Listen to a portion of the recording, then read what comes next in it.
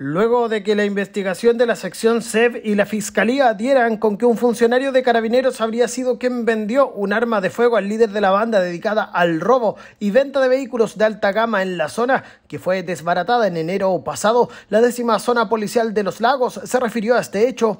Esto luego de la realización del control de la detención que dejó al imputado en prisión preventiva. Posterior a ello, la policía uniformada informó de la baja del otrora funcionario activo de Puerto Montt.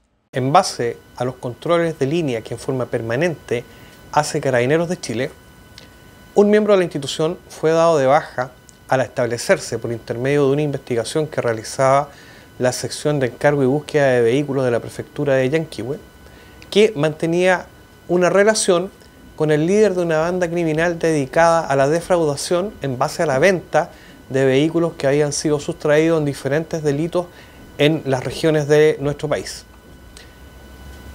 Este ex miembro de la institución fue puesto a disposición del Ministerio Público y posteriormente sometido a una audiencia de control de detención.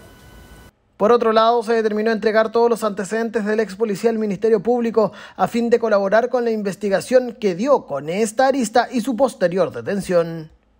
En coordinación con el CEP de Carabineros, la detención eh, se produjo en virtud de pesquisas y antecedentes de información recabadas a través de otra investigación que llevó a cabo la unidad de análisis criminal que hizo relación con el foco de falsa promesa. Esto es, ustedes recordarán, de los vehículos que eran robados en Santiago y vendidos en la región.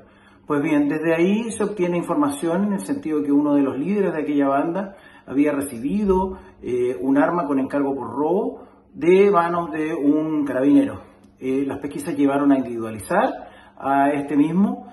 El otro hora carabinero quedó en prisión preventiva por un plazo de 60 días mientras se realiza la investigación.